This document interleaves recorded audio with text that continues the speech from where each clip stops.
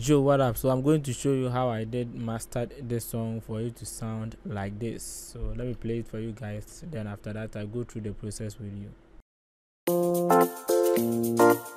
Series beat, come on.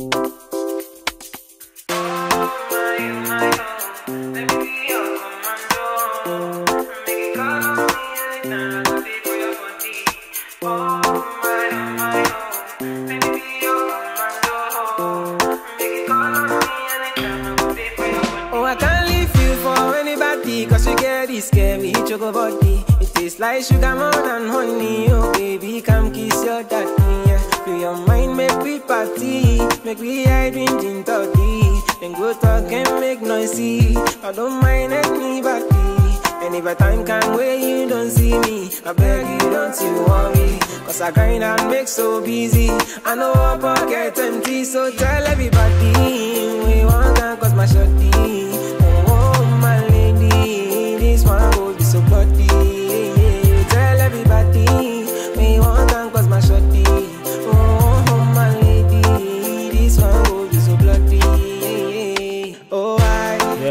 That's the song you see the way you sound heavy and also loud. Yes. So i did on it is um let me just solo uh, mute all these ones and listen to how it sounds without the effect then i'll go through the process and explain why i'm putting certain plugins on it. Yes. Series beat? Come on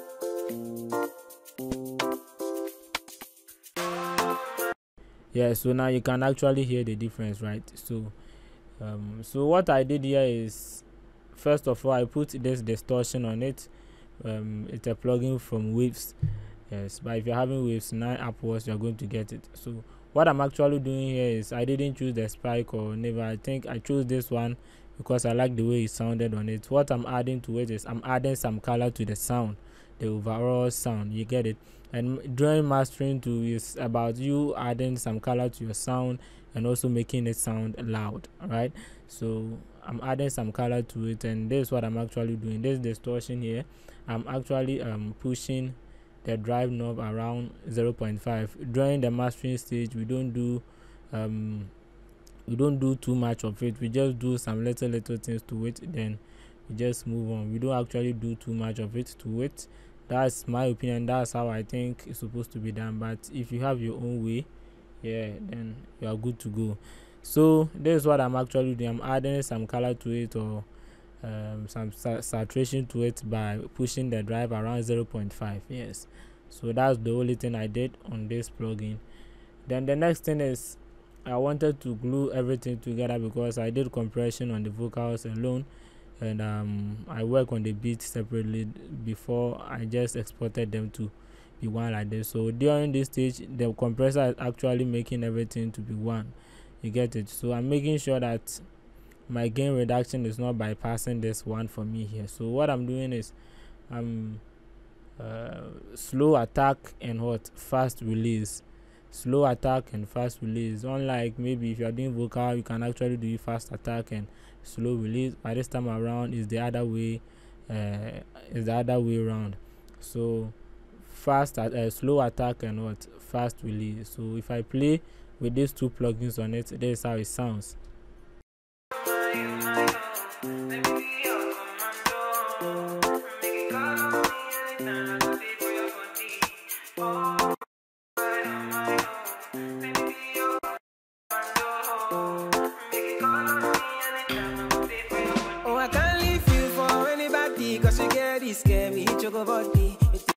Like sugar more than honey, oh baby, come kiss your So I'm gluing everything together. So if you watch this meter here, you can see it's not bypassing one. You get it? Yes.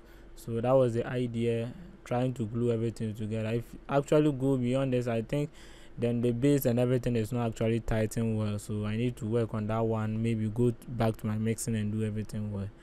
Yeah, so I think it's not bypassing one slow attack and everything is working nice so the next thing is EQ the what I'm using this EQ for is I'm I'm cutting these low ends and in science we know that our ears can hear below these frequencies here. You get it from 28 or 30 downwards there yes i think.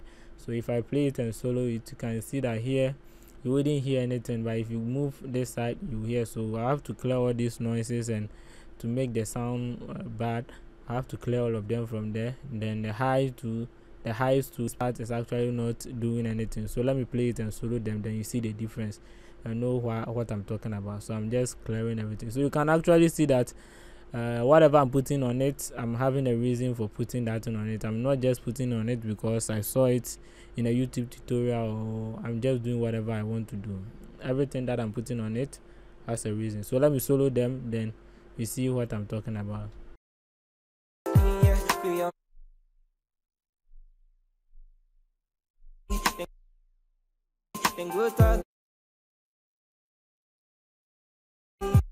so around the 19000 you are not hearing anything. 28000 hertz too. You are not hearing anything so you have to use headset studio headset or studio monitor so that you can know it right that you are not hearing anything. If you are using phone you are not actually going to hear it well. So the next thing is making it loud after coloring it and putting certain frequencies and other things together gluing it then i mean the next thing is making the sound loud right? So this is what i'm actually using it to make the sound loud. So even this thing if you just put it on it it just make it uh, sound loud just like that. So i didn't even touch anything on it because i like the loudness of it after um checking my meter here. So so this is what i'm using to check my loudness here. So that whenever it goes outside and it's competing the ones on market it wouldn't be like my sound would be down whilst the other ones would be louder than this. So if you listen to this i want the uh, lufs meter here to be around uh, 8 point something or less 7 downwards yes. Yeah, and here too they say 8 point something or 7 downwards. So these two which whichever way it is most of the time i use the short term to check it. So let's play it and listen to it And if a time you don't see me, I beg you don't you worry. Cause I grind and make so busy. I know pocket empty, so tell everybody we want cause my shorty. Oh, my lady, this one will be so bloody. Want. Oh, my lady, this one will be so bloody.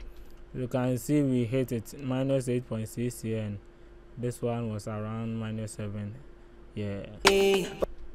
So that's how it is. So when it hits we can see that the meters actually hit our target minus 8 downwards here so we leave it there.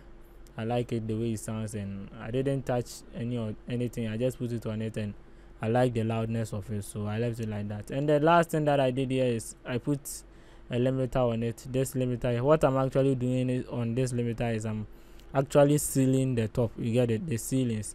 I'm actually sealing so that whenever it uh, it is being played in another speaker or anywhere um i wouldn't get a distorted sound for my sound. You get it?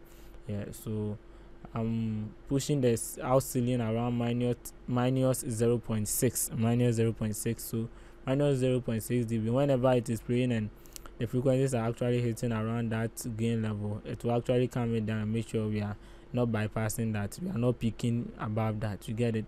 So it shouldn't peak so we have to get some room head for that. So this is what the uh, uh, limiter is actually doing. It is limiting all those bad frequencies above minus 0.6 so that everything can actually work perfectly. Don't you worry Cause I grind and make so busy. I know I pocket empty So tell everybody